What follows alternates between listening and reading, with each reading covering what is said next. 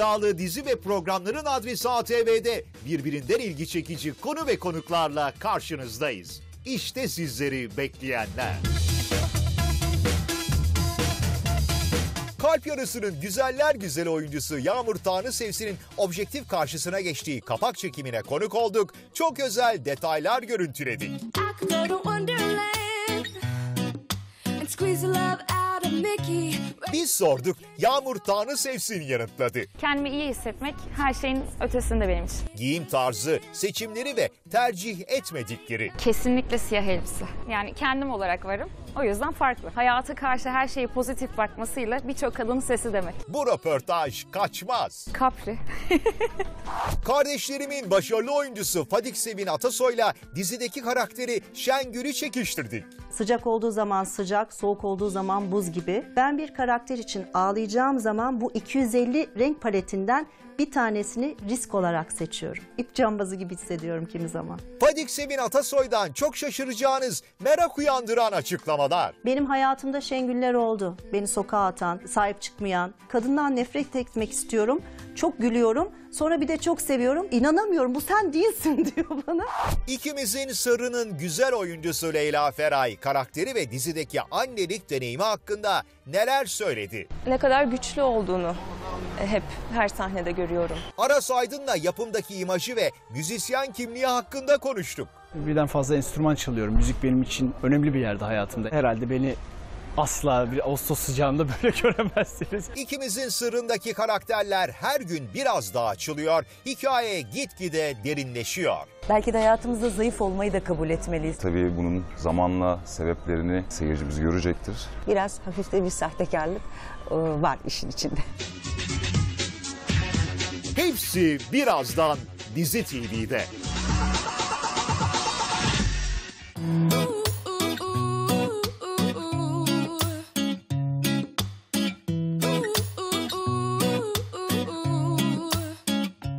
Yarısının güzel oyuncusu Yağmur Tanrı Sevsin geçtiğimiz günlerde Şam'dan Plus dergisi için objektif karşısına geçti. Klasik bir otomobilin dekor olarak kullanıldığı fotoğraf çekiminde ortaya birbirinden güzel kareler çıktı.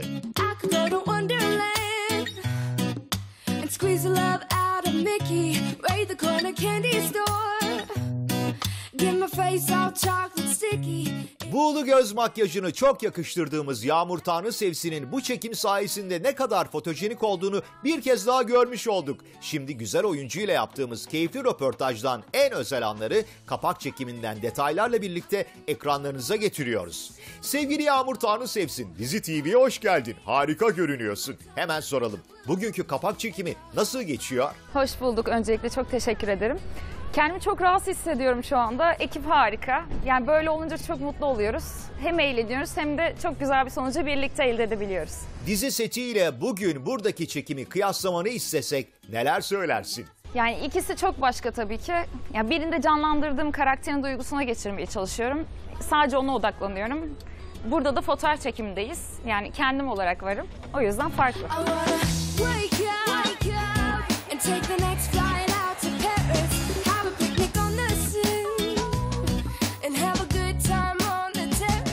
Kalp yarısında oldukça doğal ve kendine ait sade bir tarza sahip olan Ayşe'ye hayat veriyorsun. Peki Ayşe'nin tarzını beğeniyor musun? Ayşe'nin tarzını beğeniyorum. Yani işim dışında ben de seçtiğim kıyafetlerin öncelikle rahat olmasını tercih ederim. Yakıştırıyorsam gerçekten hangi marka olduğuna bakmıyorum. Kendimi iyi hissetmek her şeyin ötesinde benim için. Ya iyi de Vediye abla. Ben oraya gidersem benim Hande'den ne farkım kalır? Ne yapayım peşinden mi koşayım? Onu sevme beni sevme diyeyim yani. Gerek yok böyle bir şeye. Bir arkadaşın olsa, kardeşin gibi sevdiğin bir dostun olsa konuşup içini dökerdin, rahatlardın belki. Duyuyor musun? Neyi? Suyun sesinin güzelliğini. O suyun sesi değil, Defne'nin sesi. Ayşe oldukça doğal bir tarza sahip. Yağmur Tanrı Sevsin'in tarzı nasıl? Basic tişörtler, jeanler daha çok. Favori renkler ve kullanmayı sevdiğin aksesuarlar hangileri? Favori rengim mavi, beyaz. Mavi beyaz renklerini çok seviyorum. Küpe kullanmayı çok seviyorum aksesuarda. Holiday,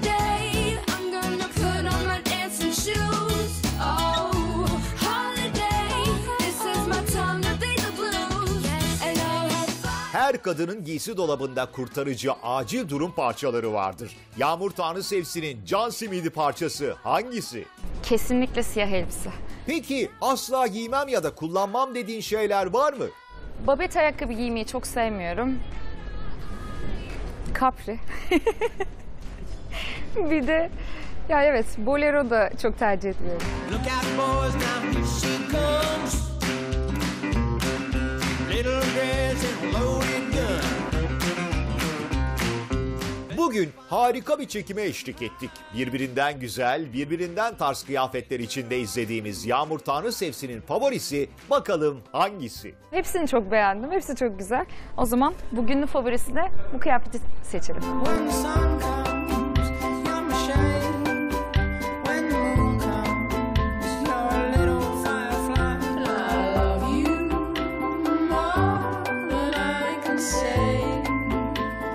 Röportajımızın son soruları kalp yarısından. Macera tam gaz devam ederken ilk bölümden itibaren gönlümüzü fetheden Ayşe ile aranda nasıl bir bağ oluştu diye sormak istiyoruz. Biz Ayşe ile daha ilk okumada çok kaynaşmıştık. Kuvvetli bir bağımız oluşmuştu. Her yeni bölümde, her yeni bölüm senaryosu geldiğinde daha da kuvvetleniyor bağımız. Benim için Ayşe dik duruşu, hayata karşı her şeye pozitif bakmasıyla birçok kadının sesi demek. Misafir geldiğiniz evin düzenine ihtimam gösterseniz iyi olur. Ben bu evde misafir değilim Azade Hanım. Oğlunuzun eşiyim. O yüzden siz bana ihtimam gösterirseniz çok iyi olur. Yani deniz gören bir ev alamam ama düz ayak bir ev alabilirim. Gerçekten çok bonkörsünüz Azade Hanım. Çok teşekkür ederim.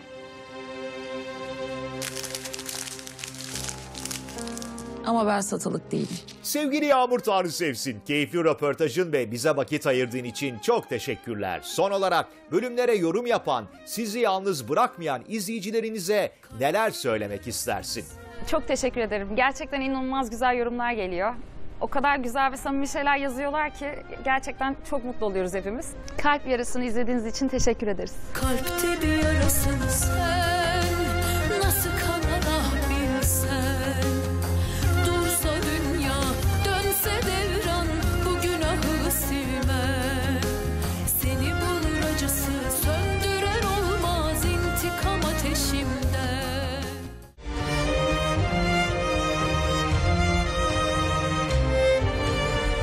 İkimizin sırrının güzel oyuncusu Leyla Feray, karakteri ve dizideki annelik deneyimi hakkında neler söyledi? Ne kadar güçlü olduğunu hep her sahnede görüyorum. Aras Aydın'la yapımdaki imajı ve müzisyen kimliği hakkında konuştuk. Birden fazla enstrüman çalıyorum. Müzik benim için önemli bir yerde hayatımda. Herhalde beni asla bir Ağustos sıcağında böyle göremezsiniz. İkimizin sırrındaki karakterler her gün biraz daha açılıyor, hikaye gitgide derinleşiyor. Belki de hayatımızda zayıf olmayı da kabul etmeliyiz. Tabii bunun zamanla sebeplerini seyircimiz görecektir. Biraz hafif de bir sahtekarlık e, var işin içinde. Hepsi birazdan Dizi TV'de.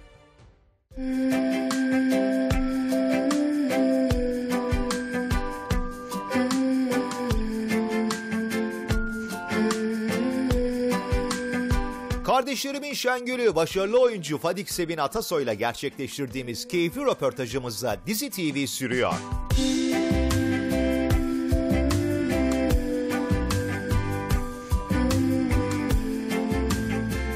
Şengül kardeşlerimin en renkli karakterlerinden biri. Çoğu zaman kızdığımız, kimi zamansa güldüğümüz bu kadın dizinin tadı tuzu. kendi içinde gelgitleri olan son derece değişken bir karakter.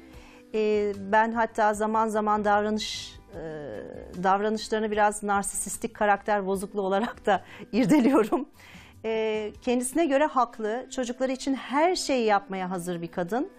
Ee, bu kimi zaman karanlık işlere bulaşmasına sebebiyet verse bile çocukları için e, her şeyi yapmaya göze alan bir kadın diyebilirim. Ee, bir Anadolu kadını, e, espri anlayışı çok yüksek. Bağımda yazmışlar. Ergen problemlerine yaklaşım. Çocuğunuzu tanıyın. Sanki çocuğumu tanımıyorum ben. Ergenlerin gergin dünyası. Vallahi bizimkiler çok gergin ha. Bu olabilir. Şengül. Ya Şengül! Oh Orhan ne yapıyorsun ya? Bir sabredemedin yani sahnemi bitireyim, alkışımı alayım. Şengül farklı bir kadın. Karakterin duygu durumunun değişkenliği Fadik Sevin Atasoy'a mesleğinde güzel deneyimler sunuyor. Sıcak olduğu zaman sıcak, soğuk olduğu zaman buz gibi. Ee, zaman zaman vicdanlı, zaman zaman acımasız. Kendi içerisinde haklı olduğu, haksız olduğu birçok yer var. Çok oyuncaklı bir karakter. Bir oyuncu için aslında zor bir yol. Ee, her şeyi ölçerek, bilçerek e, yapmam gerekiyor bir oyuncu olarak. Uçlara kaymamam gerekiyor. Hep böyle bir ip üzerindeyim Şengül'le. İp cambazı gibi hissediyorum kimi zaman. Nebahat Hanım hayatta öyle bir şey yapmaz. O kadar ahlaklı, o kadar düzgün bir çocuktur ki Asiye. Ne olur günahını almayın garibanın. Bana bak ben amcasıyım onların. Sahip çıkacağım tabii. Teyzesi var, dayısı var. Onlar sahip çıksın. Bir enayi biz miyiz ha? Vallahi birkaç gün sabrederim. Ondan sonra dayılarına gitsinler.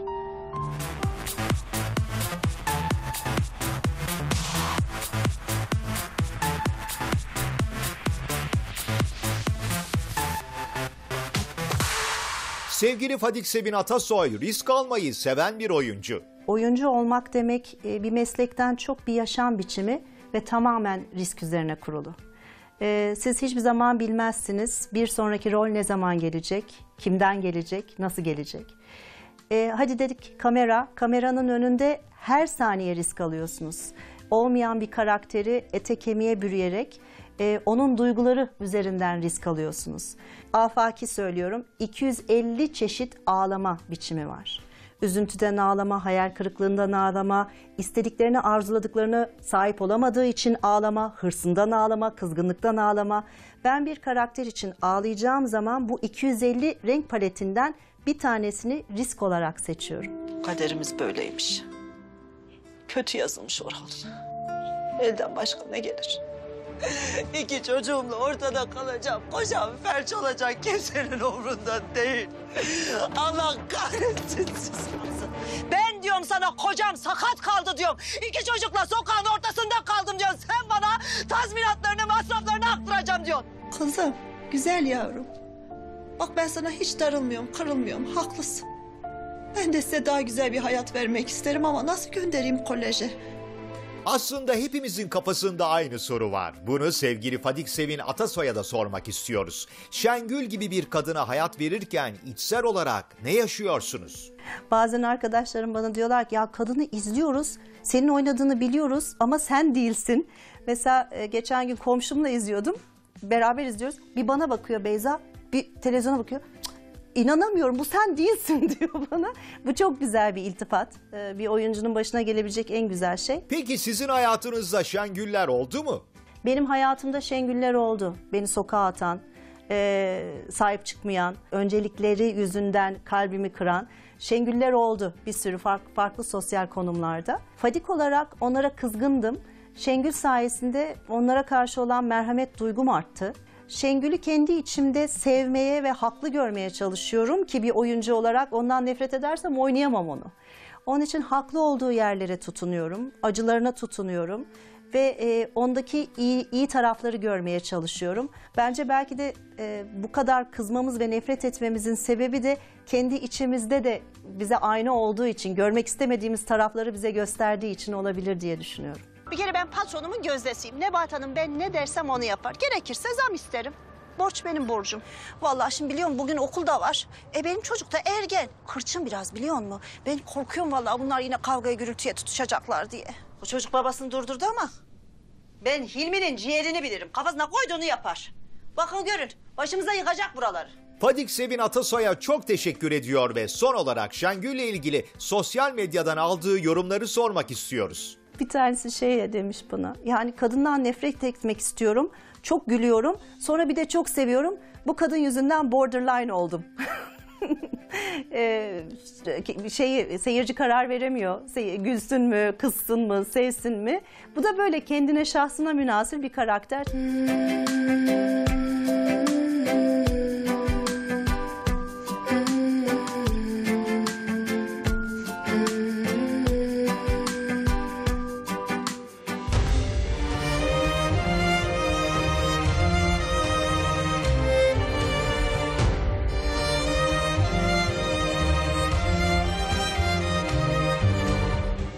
Ekranının yeni sezon sürprizlerinden ikimizin sırrı bu akşam ikinci bölümüyle izleyiciyle buluşuyor. Kocasını kaybeden Neva'nın kızı Hayal'le hayat mücadelesi sırasında yolunun Alp'le kesişmesiyle başlayan dizide karakterler yavaş yavaş açılıyor. Neva e, yaşadığı tüm zorluklara rağmen e, son derece güçlü, e, hayat enerjisi yüksek, umutlu bir kadın, bir anne, e, kızı için mücadele veren biri. Dolayısıyla hani onu düşündüğüm zaman ne kadar güçlü olduğunu e, hep her sahnede görüyorum. Yani bütün bu yaşadığı zorluklara rağmen kızı için ne kadar e, fedakar olduğunu görüyorum. Kızım, şimdi seninle bir oyun oynayacağız. Sen burada kötü adamlardan saklanacaksın. Ben de onları kandırıp geri geleceğim, tamam mı? Genç bir anne olarak karşımıza çıkan güzel oyuncu Leyla Feray, ikimizin sırrında kızını oynayan Ahsen Türk Yılmaz'la güzel bir uyum yakalamış durumda. Daha önceki işlerimde de dönem işi olduğu için e, anne oynamıştım ama bu iş daha farklı. Çünkü e, anne kız hikayesine dayalı bir e, senaryosu var. Ama Ahsen'le çok o enerji tuttu. Kızımı oynayan oyuncuyla. O da beni çok rahatlattı. Uçabilseydin nereye gitmek isterdin? Böyle çok uzak bir ülkeye. Tıpkı masallardaki gibi. Peki ne varmış orada? Böyle büyülü bir bahçe. Sadece ikimizin olduğu, kimsenin bulamadığı bir yer. Böylelikle hiç ağlamazsın. Başarılı oyuncu Aras Aydın kendi yolunda kararlı ve ülkenin tanınmış isimlerinden Alp Karahun'a hayat veriyor. Aydın hayat verdiği karakterin tarzına uygun imajıyla oldukça şık. Alp karakteri hayatımızda olmasa herhalde beni asla bir Ağustos sıcağında böyle göremezsiniz. E, dediğiniz gibi ben renk çok seven bir adamım. Yani e, genelde hani e, erkekler böyle koyu renkler tercih eder falan. Ben daha cıvıl cıvıl renkler tercih ederim. Ama evet bir restoran sahibi olduğum için, varlıklı, zengin bir ailenin oğlu olduğum için işte keten takımlar, böyle e, özel kesim tatlı şeyler ayarlıyorlar. Canla başla çalışan bir kostüm ekibimiz var bu arada. Onlara da e, sizin sayenizde teşekkür etmiş olayım. E, çok mutluyum yani içinde iyi de hissediyorum. Yakıştırdıysanız da ne mutlu bana. Teşekkür ederim. Nasıl oluyor bu işler? Avını neye göre seçiyorsun mesela? Al mı? Araba mı cezbetti seni? Yoksa böyle birden mi arabamın önüne atlamak istedin? Nasıl oluyor? Bu restoran benim için çok önemli. Hayata geçmesi için çok uğraştım. O yüzden her şeyle kendim ilgileneceğim zaten. Dolunay Soysert hikayede alkol bağımlısı popülaritesini kaybetmiş eski bir ses sanatçısına hayat veriyor. Seylan Sorgun yıllar önce terk ettiği oğlu Alp'le tekrar bağ kurmaya çalışıyor. Güzel oyuncu Dolunay Soysert'e bu çıkmazdaki kadınla nasıl empati kurduğunu soruyoruz. Buradaki zayıflık üzerine takılıyorum ama bir yandan da belki de hayatımızda zayıf olmayı da kabul etmeliyiz. Şimdi Seylan'ın da bana öğretmeye çalıştığı şey odur diye düşünüyorum. Empati duyacağım Dolunay olarak bir durumu yok. Sadece oyuncu Dolunay olarak onu oynayabilmem için duyuyorum. E, hikayesini çok merak ediyorum. Yani bu savaşı kazanacak mı ben de merak ediyorum ama e, dilim gerçekten kazanması. Çünkü e, alkol adına bir zayıflığı var ve bir bağımlılık adına aslında bir bağımlılığı da işliyoruz biz. E, bence bu anlamda karakterin de topluma söyleyeceği çok sözü olacak. Yüzünü bile göstermiyorsun artık bana. Ha? Şu haline bak ya. Yüzümü görmek isteseydin... ...dokuz yaşında atmazdın beni onların kapısına. Bilmeyenler için biraz bahsedelim. Aras Aydın oyuncu kimliğinin yanı sıra aslında profesyonel bir müzisyen. 10 parmağında 10 marifet yakışıklı oyuncu yapımın birinci bölümünde şarkı söyleyerek izleyicilerine tatlı bir sürpriz yaptı. Çocuk yaştan beri çok içli dışlı olduğum için böyle elime aldığım enstrümanla çok haşır neşir oldum. Birden fazla enstrüman çalıyorum. Müzik benim için önemli bir yerde hayatımda. Yani oyunculuk nasıl profesyonelse müzik de benim için profesyonel ve önemsediğim bir iş diyeyim.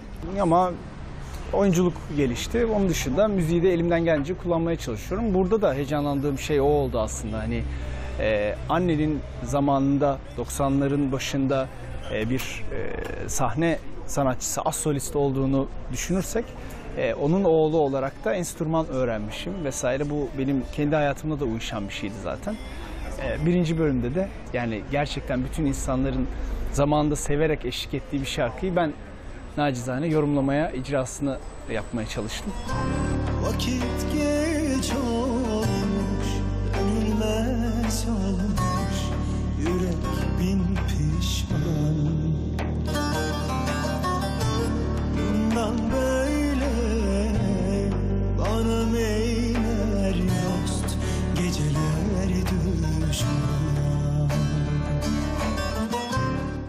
İkimizin sırrında şarkı söyleyerek izleyicileri şaşırtan bir diğer isimse Dolunay Soysert oldu. Artık sevmeyeceğim şarkısıyla büyük beğeni toplayan başarılı oyuncu rol arkadaşı Aras Aydın gibi söylediği şarkıyla sosyal medyada kısa sürede gündemdekiler arasına girdi. Artık sevmeyeceğim Bütün kabahat benim Artık sevmeyeceğim Bütün kabahat benim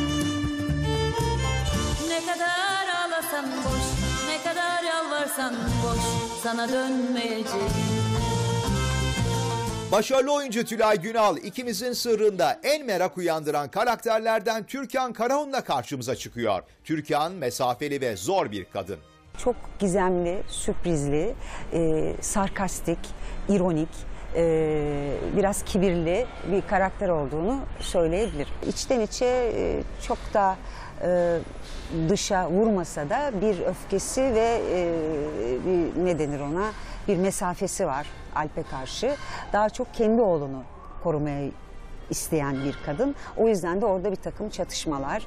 Ama bunu hiçbir zaman direkt olarak e, özellikle toplu, toplum içinde çok belli etmiyor. Tam aksine başka türlü davranıyor. Yani daha yüksek ve biraz hafif de bir sahtekarlık e, var işin içinde. Sen böyle kaygısız olmaya devam edersen Alp gelecek, o koltuğa oturacak. Biz de böyle baka kalacağız. Alp'e olan bu öfkenin sebebi nedir? Seylan Sorgun'un oğlu olmasın? mı?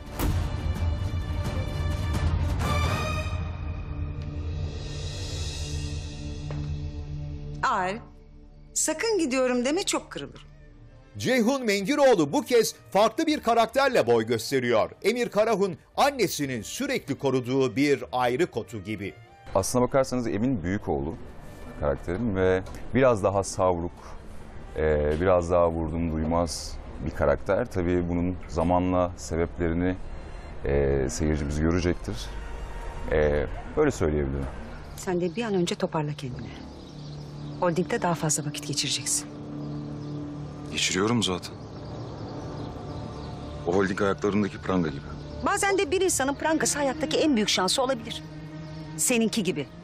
Kasım Karahun'u zamanla daha iyi tanıyacağız. Bu başarılı iş adamının arkasında pek çok sır var gibi gözüküyor.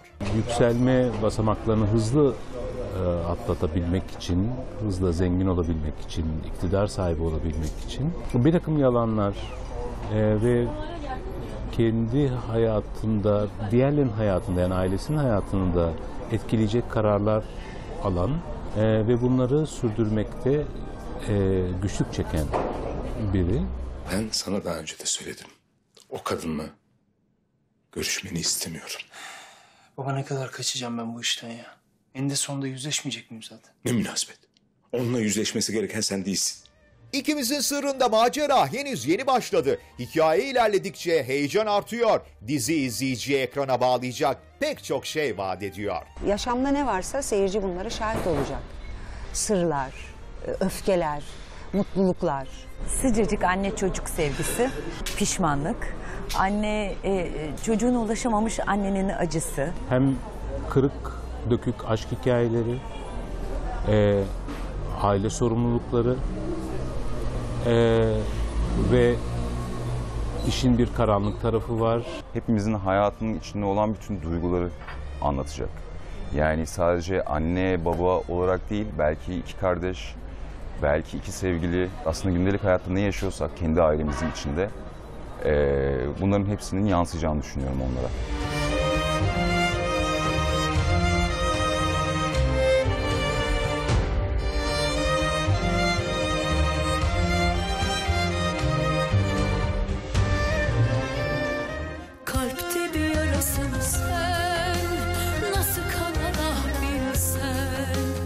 Pazartesi akşamlarının rakipsiz macerası Kalp Yarası'nın yarın akşamki yeni bölümünden önce geçtiğimiz hafta neler olduğuna bakmaya ne dersiniz? Söz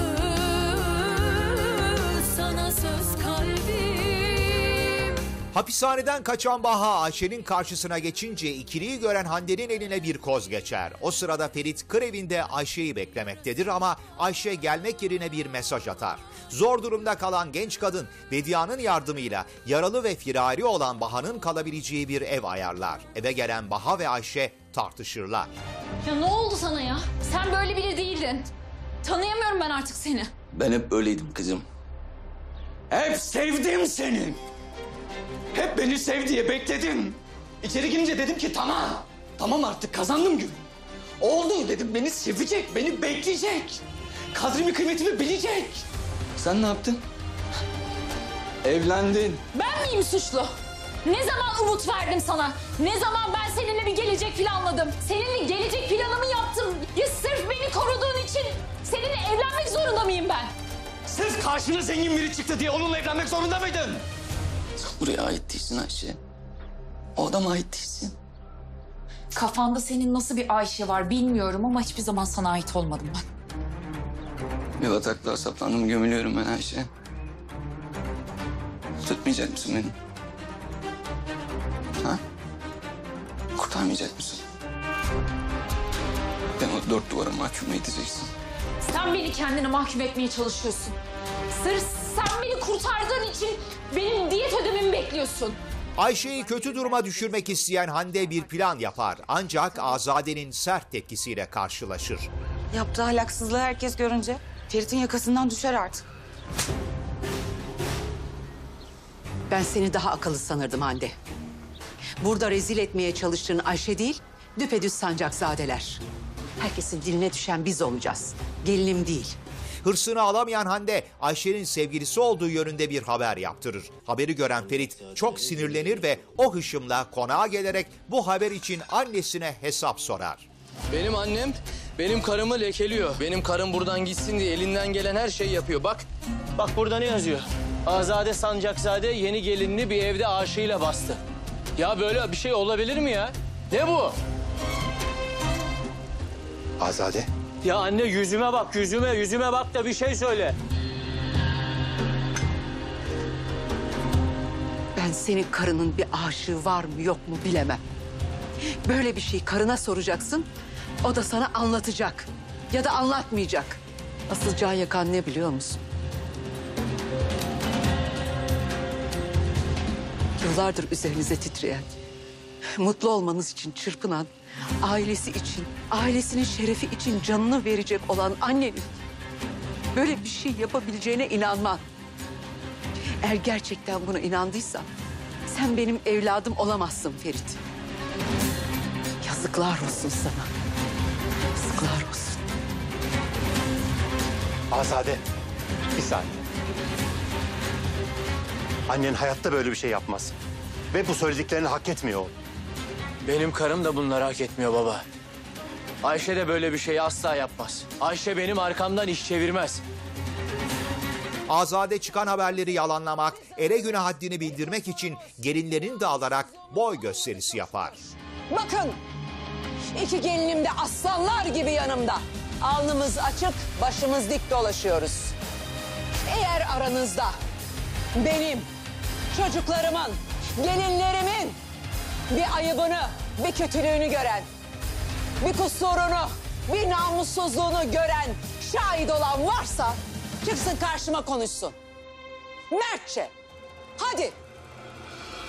Hadi. Bekliyorum. Tabii. Arkadan konuşmak kolay. Yok mu içinizde Mert biri? Yok mu? Ha? Anladım. Demek yok. O zaman dedikodu yapmayacaksınız. Nankörlük etmeyecek, işinize gücünüze bakacaksınız. Hadi. Herkes işinin başına. Hadi. Yürüyün gidiyoruz.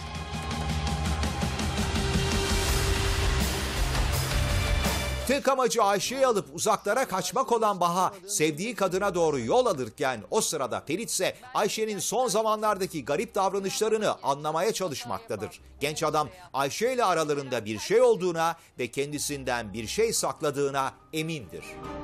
Gerçekten çaresiz olduğun o kadar belli ki. Sıkıntın büyük. İyi değilsin. Ya söyle bana, anlat. Konuş benimle. Ben seni böyle görmeye dayanamıyorum. Üzülüyorum Ayşe. Neden? Ya neden? Niye üzülmemi istemiyorsun benim ya? Üzülmesin, aç kalmasın, yalnız kalmasın yeter ya.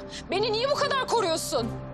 Yardım etmek istiyorum, yardım. Ya ne kadarlık bir geçmişimiz var bizim. Ya ne hakla beni sahipleniyorsun? Neyimsin ya benim? Neyimsin? Sana ne? Ya gerçek kocam olduğunu mu sanmaya başladın? Bu oyun amacını aştı tamam mı? Saçmalamanın manası yok. Uzak dur benden yeter tamam mı? Uzak dur yeter. Ayşe. Kalpte bir yarasın sen Nasıl kanala bilsen Seni bulur acısı söndüren olmaz Ayşe'nin Ferit'le öpüştüğünü gören Baha vedalaşmak üzere genç kadınla buluşur. Ayşe'nin ise Baha'nın intikam planından haberi yoktur. Allah'a ısmarladık.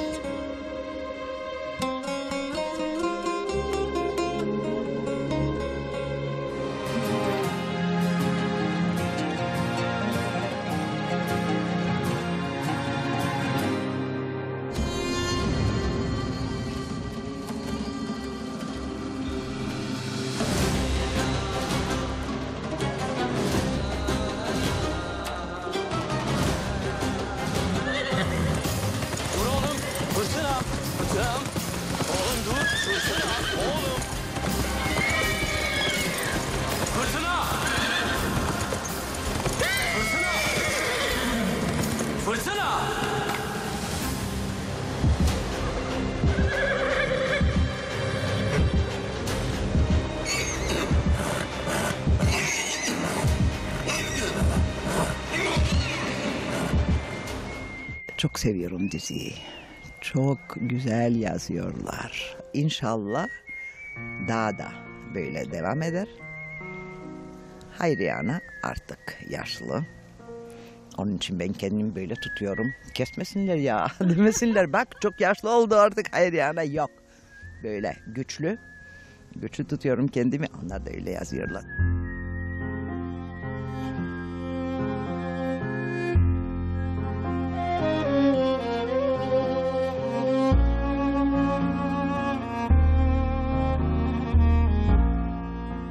Hafta Dizi TV'yi hepimizi derinden etkileyen üzücü bir haberle noktalıyoruz. Eşkıya Dünyaya Hükümdar Olmaz'daki Hayriye Ana karakteriyle gönlümüzü fetheden usta oyuncu Sabina Tozia geçtiğimiz günlerde hayata gözlerini yumdu. Hayranlık uyandıran oyunculuğu ve sevgi dolu mizacıyla herkesin kalbini, saygısını kazanan Sabina Tozia'nın vedası hem izleyicilerini hem de dostlarını çok üzdü.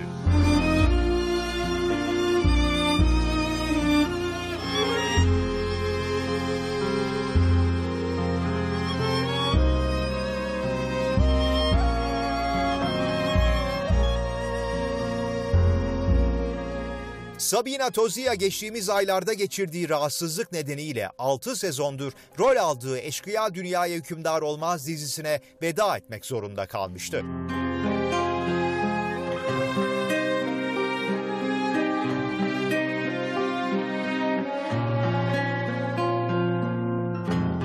Sevgili Sabina Tozia'yı röportajlarımızdaki samimi halleri başta Hayriye Ana olmak üzere hayat verdiği unutulmaz karakterler ve güzel gülüşüyle hep hatırlayacağız. Eşkıya dünyaya hükümdar olmazdan bazen güldüren, bazen düşündüren muhteşem diyaloglarıyla bir Hayriye Ana geçti. Kaderi yaşayacak kadar büyüksün.